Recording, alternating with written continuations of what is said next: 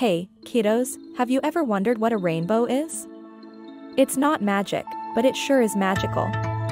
A rainbow is a beautiful, colorful arc that appears in the sky. It happens when sunlight and rain combine in a very specific way. The sunlight shines onto a raindrop in the sky and then bounces back out to you.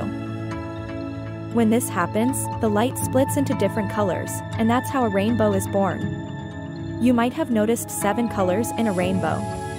They are always in the same order, red, orange, yellow, green, blue, indigo, and violet. Remember the first letter of each color? They spell ROYGBIV.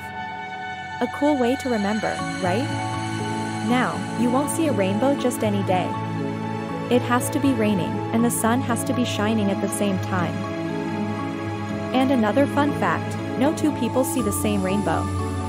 Because it all depends on how the light is bouncing off the raindrops and into your eyes. Next time you see a rainbow, remember, it's a beautiful dance of sunlight and raindrops. And now that you know how it's formed, it makes it even more special, doesn't it?